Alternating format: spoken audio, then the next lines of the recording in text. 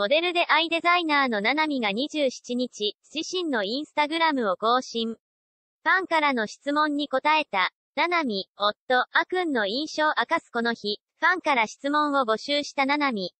2022年12月にロックバンド SPiCYSOL、SPiCYSOLのギター、 AKUN、AKUNと結婚したことを受け、旦那さんの第一印象は何ですか？と聞かれると、 AKUNの運転中の横顔の写真とともに、鼻高いなぁ、と回答。さらに、可愛くなるにはどうすればいいですか？との質問には自分の過去の写真を載せ、性格とか心の治安って顔面に出るな、と当時の自分について解雇、人生楽しむことも素敵な表情になるポイント、と返答した。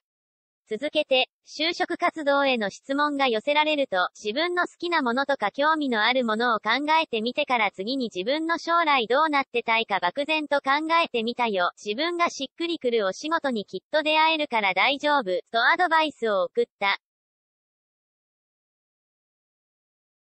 バル、ナナミとはナナミは、1994年10月17日生まれ。